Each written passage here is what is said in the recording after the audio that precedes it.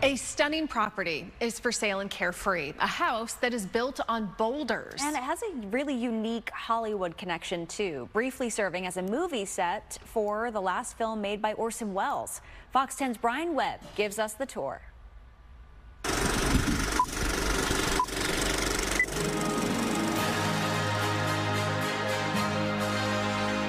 Wedged into a canyon, built on a bridge and bolted onto boulders. Welcome to the Slingman House in Carefree, Arizona.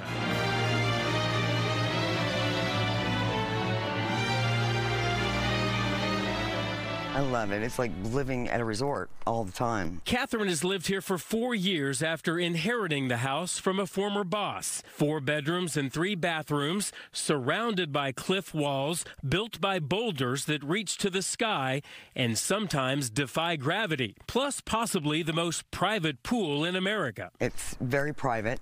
You know, I can, um, I say this, but I can come out here naked and just jump yeah. in the pool and nobody can see me. It's, um, it's very different. Now this is when they're starting to put the rebar in for the pool. These are pictures of the home being built in 1970, from the bridge carried in by crane to the swimming pool actually suspended above ground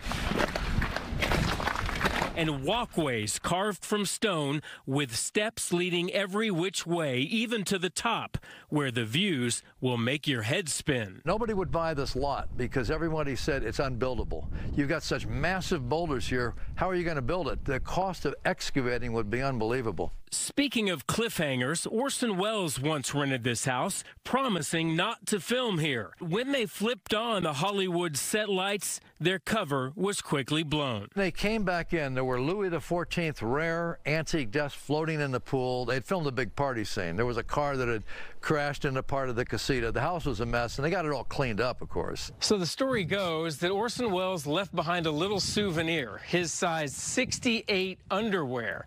So on the anniversary of his eviction, they would run him up the flagpole and have a little fun in his honor. And since walls can't talk, the stories are now part of Carefree legend. You can look right through to the pool the other side. But still add to the reputation of this house on the rocks. Makes you feel Hollywood. You know what I mean? I feel kind of Hollywood when I'm when I pull in and when I walk up to the house and stuff. It's just a special feeling. So if a stunning property north of $4 million is up your alley, the Slingman house is hard to beat. The bridge, the boulders,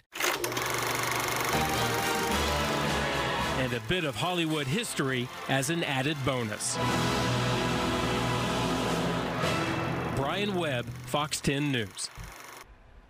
That is something else. Yeah, very cool. Yeah, and Orson Welles' final motion picture, The Other Side of the Wind, was finally released in 2018, more than 30 years after his death. Yeah, you can watch it right now. It's on Netflix.